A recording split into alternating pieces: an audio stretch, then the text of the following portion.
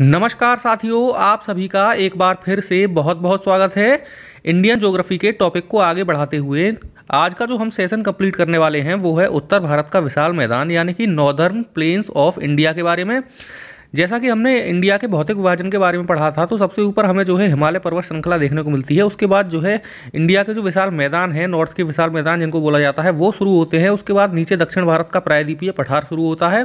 पूर्वी घाट, पश्चिमी घाट आदि ये सारी की सारे विषय के बाद बाद में चर्चा की जाएगी। लेकिन आज जो हम सेशन स्टार्ट कर रहे हैं, वो है उत्तर भारत का विशाल मैदान। चर्चा करेंगे इसका निर्माण किस प्रकार से हुआ, इसका विभाजन जो है किस प्रकार से किया जाता है, अध्ययन की दृष्टि से।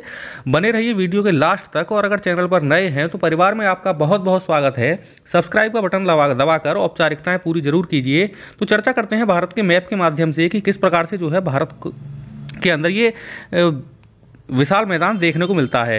इसको उत्तर का विशाल मैदान बोलने का कारण ये है कि जब हम भारत के परिप्रेक्ष्य में देखते हैं तो भारत के परिप्रेक्ष्य में सेंटर अगर इसको माना जाए तो ये नीचे वाला एरिया साउथ हो जाता है, ऊपर वाला उत्तर हो जाता है, इधर ईस्ट हो जाता है और इधर वेस्ट हो जाता है पूरा पश्चिम, उत्तर और दक्षिण, ऊपर उत्तर होगा। तो ये जब भारत के परिप्रेक्ष्य में हम देखते हैं तो ये पूरा का पूरा पार्ट जो है उत्तर भारत का पार्ट माना जाता है। और इसीलिए जो यहाँ पर जो मैदान हमें देखने को मिलते हैं, हिमालय के नीचे से जो उत्तर भारत के मैदान स्टार्ट होते हैं, जो शिवालिक हिमालय की श्रेणी है, उसके जस्ट नीचे नीचे से ये मैदान जो है हमें देखने को मिलते हैं, जो शिवालिक हिमालय जैसे ही हिमालय खत्म होता है, शिवालिक हिमालय उसके बाद जो देखने को मिलते हैं, हमें मैदान देखने को मिलते हैं। पूरा भाग जो है वो मैदान का ही है नीचे तक और फिर उसके बाद जो है प्रायद्वीपीय पठार हमें देखने को मिलता है। तो यहाँ बीच का जो एरिया देखने को मिल रहा है, ये मैदान का है और ये जो है मैदान और शिवालिक श्रेणी के बीच में जो फॉल्ट आता है हिमालय का, उसको बोला जाता है हिमालयन फ्रंटल फॉल्ट।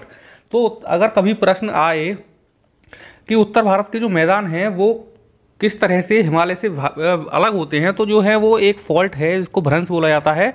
वो जो है हिमालयन फ्रंटल फॉल्ट से ये जो है अलग होते हैं हिमालय के, हिमालय से।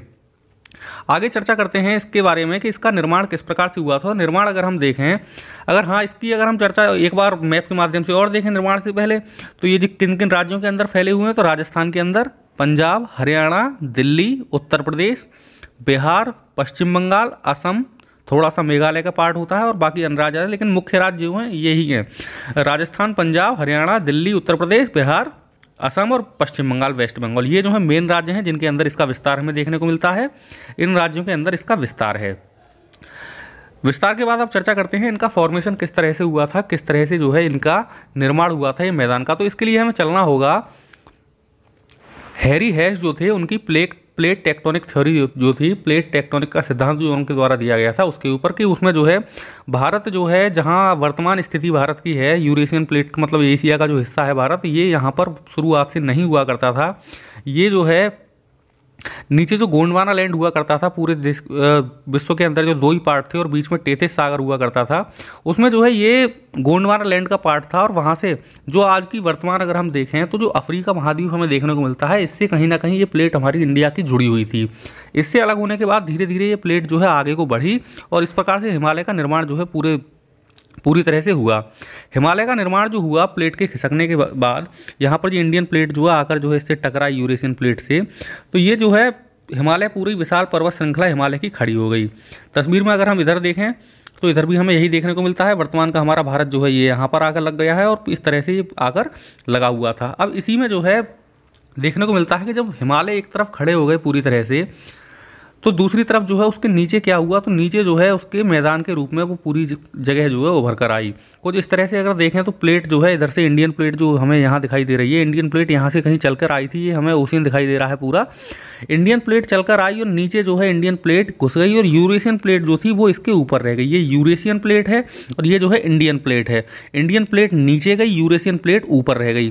तो जब इंडियन प्लेट नीचे गई तो कुछ भाग ये यहाँ देख रहे हैं। इंडियन प्लेट जब आकर नीचे लग गई यहाँ से इस तरह से तो कुछ भाग जो है ये नीचे की तरफ़ को धसा हुआ रह गया और ये जो है नदियाँ, जब पर्वत इधर भी हो गए, इधर भी जो है पूरा ऊँचा भाग है और बीच में जो है जगह जब खाली रह गई इस तरह से तो जब पर्वतों पर से नदियाँ जब बह रही थी और साथ ही साथ इधर प्रायद्वीपीय भारत जो था हमारा, इधर से भी नदियाँ जो है बह रही थी, नदियों के द्वारा यहाँ काफ़ी सारा अवसाद जमा किया गया। धीरे धीरे धीरे धीरे अवसाद करने के बाद वो काफ़ी इकट्ठा हुआ और नदियों ने जो है अपना रास्ता एक बना लिया। जिस तरह से हमें आज नदियों का जो प्रसार देखने को मिलता है भारत के अंदर, जैसे गंगा, यमुना, बहुत सारी नदियाँ हैं, सिंधु आदि काफ़ी नदियों के बारे में हम पढ़ने वाले हैं आगे। तो ये सारी की सारी नदियों के द्वारा जो है अवसाद भरे गए पूरी तरह से। और इस तरह से जब ये मैदान जो है एक समतल भूमि की तरह रह गया तो नदियों ने जो है अपना रास्ता पूरी तरह से बना लिया और समुद्र में जाकर वो गिरने लगी। इस तरह से इन, ये जो मैदान है पूरा का पूरा, इसका निर्माण हुआ है। उम्मीद है हिमालय, इसका मैदान का निर्माण आपको समझ में आया हो, पूरी तरह से मैदान के निर्माण के बाद चर्चा करते हैं इसके प्रादेशिक विभाजन की और इसके भौतिक विभाजन की तो जो मैदान जो है वो दो तरह से इसका विभाजन किया जाता है। दो तरह से कैसे? एक जो है इसका प्रादेशिक विभाजन होता है और एक भौतिक विभाजन इसका किया जाता है।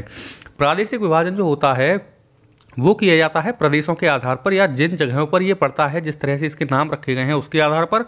और भौतिक विभाजन जो पड़ता है, वो होता है कि इसकी मिट्टी आदि जो इसके अंदर पदार्थ मौजूद हैं, मेन रूप से मिट्टी जो मौजूद है, वो किस प्रकार की मिट्टी है, उसके आधार पर इसका वर्गीकरण किया गया है। प्रादेशिक विभाजन में जो है, राजस्थान का मैदान देखने को मिलेगा, पंजाब का मैदान, गंगा का मैदान, ब्रह्मपुत्र का मैदान। इस तरह से हमें ये मैदान देखने को मिलेंगे। यहाँ पर अगर मैप के माध्यम से हम देखें तो राजस्थान के अंदर जो पूरा पार्ट है, वो मोस्टली राजस्थान प्लेन या राजस्थान के मैदान के नाम से जाना जाता है।